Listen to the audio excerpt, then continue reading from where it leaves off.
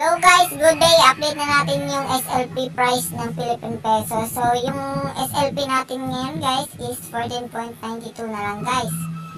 So mas bababa pa yan mga guys ha.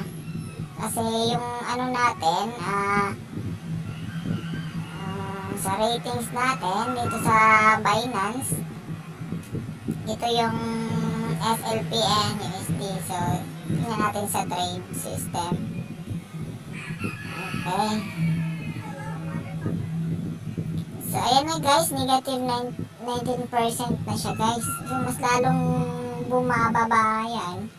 Mas lalong bababa yan kasi hindi pa na okay yung server natin sa Axie Infinity. So, yung Cloudflare is ah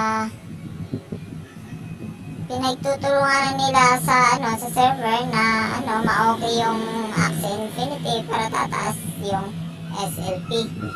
So pag tataas yung SLP guys, so yung games na Infinity, Axie Infinity is okay na. So yan, papatok na naman yung SLP natin, mamahal na naman yung SLP pag ma-okay na yung Axie Infinity. So ngayon is ah, hihintayin lang natin pag ma-okay na yung Axie Infinity kasi pag ma-okay na yon yung SLP tataas na. Siguro yung SLP natin mas papuntang 7 pesos na lang yan. Kapag after baka 2 days after pa ah ma-okay yung server ng ano ah Axie Infinity sa Cloudflare. So, mas maganda.